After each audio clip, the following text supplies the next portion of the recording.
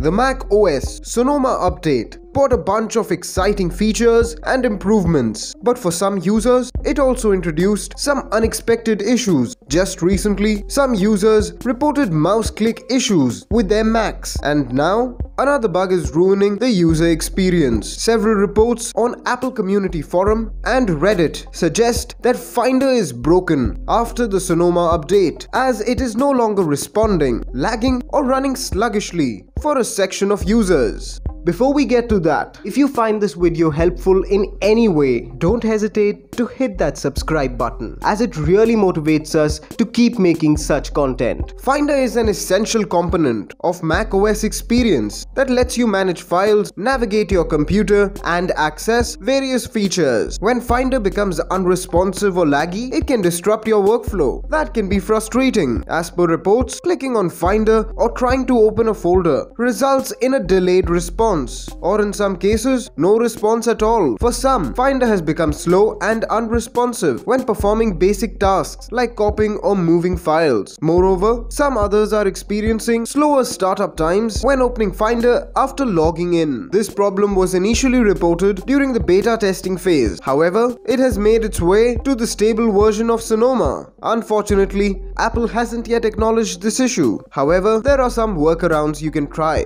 to mitigate the problem. Indexing Spotlight. Sometimes Finder performance issues can be related to Spotlight indexing. To check this, open Spotlight that is command plus spacebar to open Spotlight. If you see a blue progress bar at the top, it means Spotlight is indexing your files. Wait for the indexing to finish. This can take some time depending on the number of files on your system. Once it's finished, your Finder might start behaving as expected. Reinstall Mac OS Sonoma. You can also try reinstalling Mac OS Sonoma as it has resolved the issue for some. For that, you can first revert back to Ventura by installing it from the App Store and then again install macOS Sonoma. Restart the device. Sometimes a simple restart can work wonders. If you haven't already, try restarting your Mac to see if it resolves the Finder's unresponsiveness. Reset Finder preferences. Corrupted Finder preferences can lead to performance issues. And to reset these preferences, click on the desktop or an open Finder window. Now, from the top menu, tap on Go, then open Go to folder. A search bar will appear. Then enter the following and click Go. After that, locate the following file name and move it to the trash. At last, empty the trash and restart your Mac.